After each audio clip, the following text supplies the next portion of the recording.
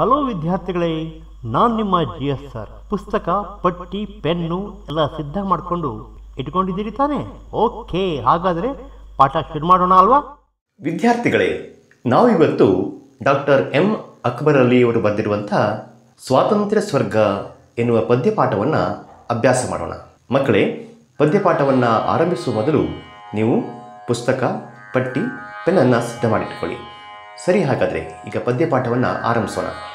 ಪ್ರತಿಯೊಂದು ಜೀವಿಯು ಕೂಡ ತಾನು ಸ್ವತಂತ್ರವಾಗಿ ಇರಬೇಕು ಅನ್ನುವ ಭಾವನೆಯನ್ನು ಅದು ಹೊಂದಿರ್ತದೆ ಆ ಜೀವಿಯನ್ನು ನಾವು ಯಾವುದೇ ಒಂದು ಬಂಧನದಲ್ಲಿಟ್ಟರೆ ಅದರ ಪರಿಸ್ಥಿತಿ ಹೇಗಾಗತ್ತೆ ಅನ್ನೋದಕ್ಕೆ ಒಂದು ನಿದರ್ಶನ ಈ ಪಾಠದಲ್ಲಿದೆ. ಅದನ್ನು ತಾವು ನಿಧಾನವಾಗಿ ಓದಿ ತಿಳ್ಕೊಳ್ಳಿ. ಹಾಗೆ ಡಾಕ್ಟರ್ ಎಂ ಅಕ್ಬರ್ ಅಲಿ ಅವರ ಬಗ್ಗೆ ಸಂಕ್ಷಿಪ್ತ ಪರಿಚಯ ಕೂಡ ಇಲ್ಲಿದೆ. ಅದನ್ನು ಕೂಡ ತಾವು ನಿಧಾನವಾಗಿ ಓದ್ಕೋತೀರಿ ಅಂತ ಭಾವಿಸುತ್ತೇನೆ. ಕವಿ ಏನೇನು ಹೇಳ್ತಾರೆ?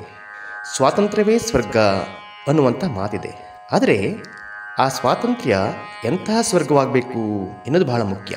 ಅದು ಸ್ವೇಚ್ಛೆಯ ಸ್ವರ್ಗವಾಗಬಾರ್ದು. ಮನಸ್ಸಿಗೆ ಬಂದಂತೆ ನಡೆಯುವಂಥ ಸ್ವಾತಂತ್ರ್ಯ ಆಗಬಾರ್ದು.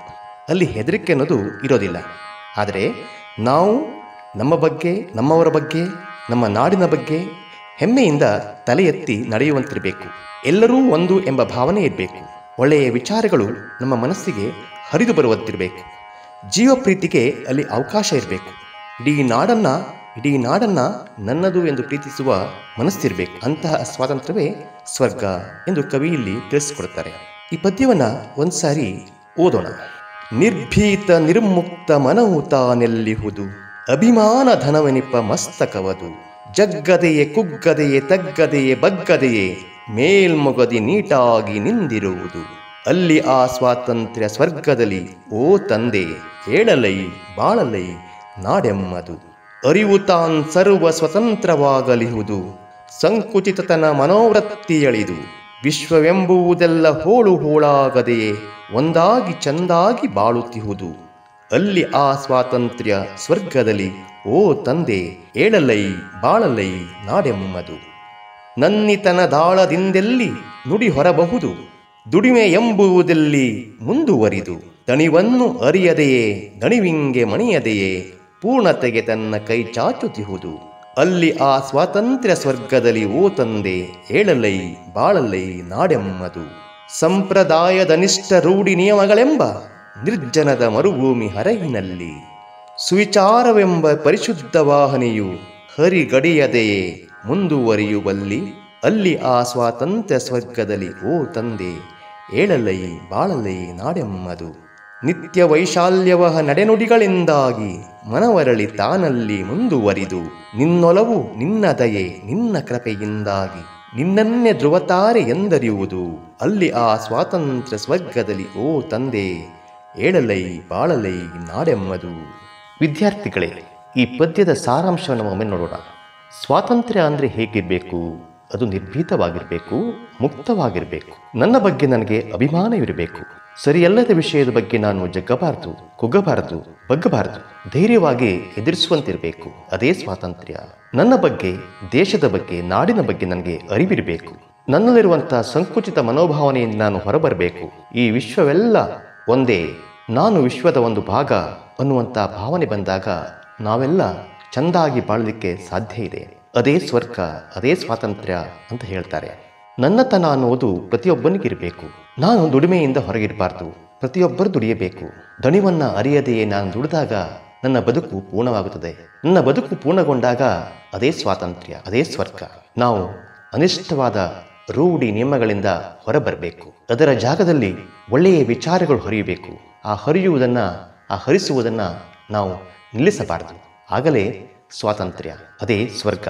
ನನ್ನಲ್ಲಿ ವಿಶಾಲವಾದ ಮನೋಭಾವನೆ ಇರಬೇಕು. ಉತ್ತಮ ನಡೆನುಡಿಗಳು ಇದ್ದು, ಒಳ್ಳೆಯ ಮನಸ್ಸಿನಿಂದ, ಒಲವಿನಿಂದ, ದಯೆಯಿಂದ, ಕೃಪೆಯಿಂದ ನಾನು ಜೀವನವನ್ನು ಸಾಗಿಸಿದರೆ ನಾನೇ ಒಂದು ಧ್ರುವತಾರೆಯಾಗುತ್ತೇನೆ. ಅದೇ ಸ್ವಾತಂತ್ರ್ಯ ಎಂದು ಕವಿ ಹೇಳುತ್ತಾರೆ. ವಿದ್ಯಾರ್ಥಿಗಳೇ, ಇಲ್ಲಿಯವರೆಗೆ ನಾವು ಪದ್ಯವನ್ನು ಓದುವುದು ಹಾಗೂ ಪದ್ಯದ ಸಂಕ್ಷಿಪ್ತ ಸಾರಾಂಶವನ್ನು ತಿಳ್ಕೊಂಡ್ವಿ. ಈಗ ಪದ್ಯವನ್ನು ಒಮ್ಮೆ ಹಾಡಲಿಕ್ಕೆ ಪ್ರಯತ್ನ ಮಾಡೋಣ. ಅಕ್ಕ ನಿವೇದಿತಾ ಅವರು ನಿಮಗೆ ಆ ಪದ್ಯವನ್ನು ಹೇಳ್ಕೊಡ್ತಾರೆ. ಅವರೊಟ್ಟಿಗೆ ನೀವು ಕೂಡ ಹಾಡಲಿಕ್ಕೆ ಪ್ರಯತ್ನ ಮಾಡಿ. ನಿರ್ಭೀತ, ನಿರ್ಮುಕ್ತ, ಮನವು ತಾನೆಲ್ಲಿಹುದು? ಅಭಿಮಾನ ಧನವೆನಿಪ ಮಸ್ತಕವದು ಜಗ್ಗದೆಯೇ ಕುಗ್ಗದೆಯೇ ತಗ್ಗದೆಯೇ ಬಗ್ಗದೆಯೇ ಮೇಲ್ಮೊಗದಿ ನೀಟಾಗಿ ನಿಂದಿರುವುದು? ಅಲ್ಲಿಯ ಸ್ವಾತಂತ್ರ್ಯ ಸ್ವರ್ಗದಲ್ಲಿ ಓ ತಂದೆ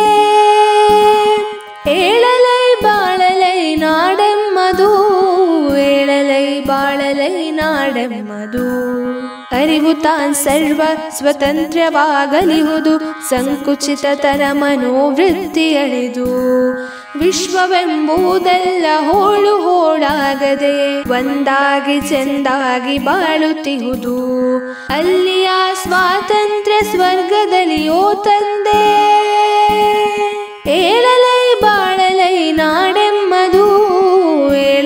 ಬಾಳಲೈ ನಾಡೆಮ್ಮದು ನನ್ನಿತನದಾಳದಿಂದಲ್ಲಿ ನುಡಿ ಹೊರಬಹುದು ದುಡಿಮೆ ಎಂಬುವುದಲ್ಲಿ ಮುಂದುವರಿದು. ದಣಿವನ್ನು ಅರಿಯದೆ ದಣಿವಿಂಗೆ ಮಣಿಯದೆ ಪೂರ್ಣತೆಗೆ ತನ್ನ ಕೈ ಚಾಚುತ್ತಿಹುದು. ಅಲ್ಲಿಯ ಸ್ವಾತಂತ್ರ್ಯ ಸ್ವರ್ಗದಲ್ಲಿಯೋ ತಂದೆ, ಏಳಲೈ ಬಾಳಲೈ ನಾಡೆಮ್ಮದು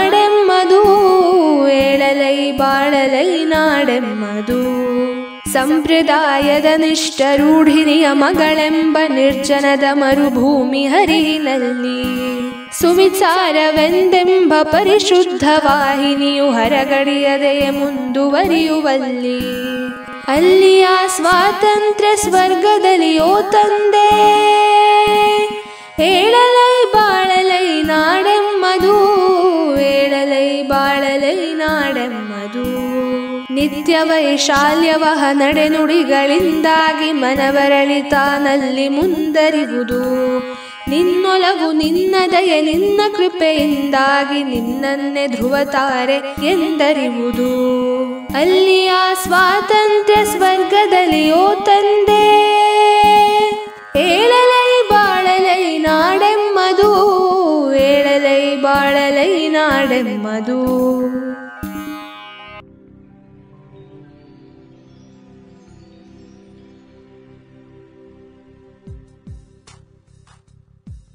ಗೆಳೆಯರೇ, ಈಗ ಪುಸ್ತಕದಲ್ಲಿ ಕೊಟ್ಟಿರುವಂತಹ ಪ್ರಶ್ನೆಗಳಿಗೆ ಉತ್ತರವನ್ನು ಬರೆಯೋಣ.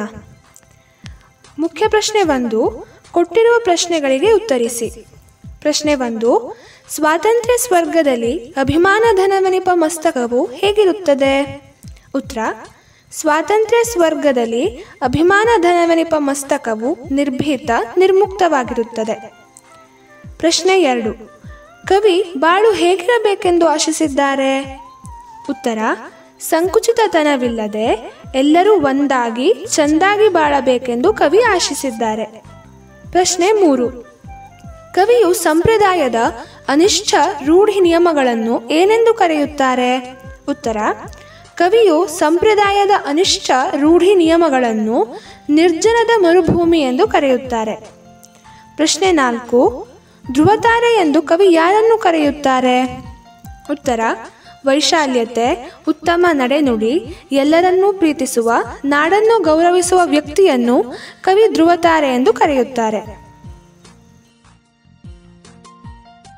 ಪ್ರಶ್ನೆ ಎರಡು. ಕೆಳಗಿನ ಪದಗಳಿಗೆ ಪದ್ಯದಲ್ಲಿರುವ ಸಮಾನಾರ್ಥಕ ಪದಗಳನ್ನು ಬರೆಯಿರಿ. ಜಗ, ಈ ಪದದ ಸಮಾನಾರ್ಥಕ ಪದ ವಿಶ್ವ. ಸತ್ಯ, ಈ ಪದದ ಸಮಾನಾರ್ಥಕ ಪದ ನನ್ನಿ. ಮರಳುಗಾಡು, ಈ ಪದದ ಸಮಾನಾರ್ಥಕ ಪದ ಮರುಭೂಮಿ. ಪ್ರವಾಹ, ಈ ಪದದ ಸಮಾನಾರ್ಥಕ ಪದ ವಾಹಿನಿ. ಪ್ರೀತಿ, ಈ ಪದದ ಸಮಾನಾರ್ಥಕ ಪದ ಒಲವು. ಅನುಗ್ರಹ, ಈ ಪದದ ಸಮಾನಾರ್ಥಕ ಪದ ಕೃಪೆ.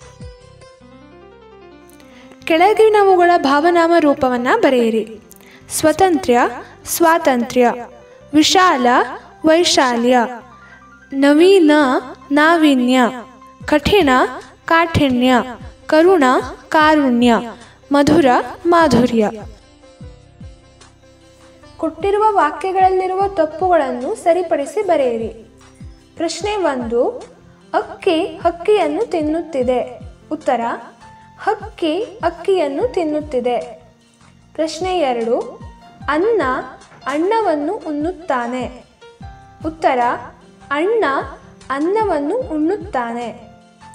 ಪ್ರಶ್ನೆ ಮೂರು, ಬಾಲೆಯ ಹಣ್ಣನ್ನು ಬಾಲೆಯು ತಿಂದಳು. ಉತ್ತರ ಬಾಳೆಯ ಹಣ್ಣನ್ನು ಬಾಲೆಯು ತಿಂದಳು. ಪ್ರಶ್ನೆ ನಾಲ್ಕು, ನಮ್ಮ ಶಾಲೆಯ ಆಸಾ ಹಸಿರು ಬಣ್ಣದ ಪುಸ್ತಕ ತಂದಿದ್ದಾಳೆ. ಉತ್ತರ, ನಮ್ಮ ಶಾಲೆಯ ಆಶಾ ಹಸಿರು ಬಣ್ಣದ ಪುಸ್ತಕ ತಂದಿದ್ದಾಳೆ. ಗೆಳೆಯರೇ, ಪಾಠದ ಬಗ್ಗೆ ತಮ್ಮ ಅನಿಸಿಕೆಯನ್ನ ಕಮೆಂಟ್ ಮಾಡಿ. ನಮ್ಮ ಚಾನಲನ್ನು ಸಬ್ಸ್ಕ್ರೈಬ್ ಮಾಡಿ. ಇದು ಮುಂದಿನ ವಿಡಿಯೋ ತಯಾರಿಸಲಿಕ್ಕೆ ಅನುಕೂಲ ಆಗುತ್ತೆ.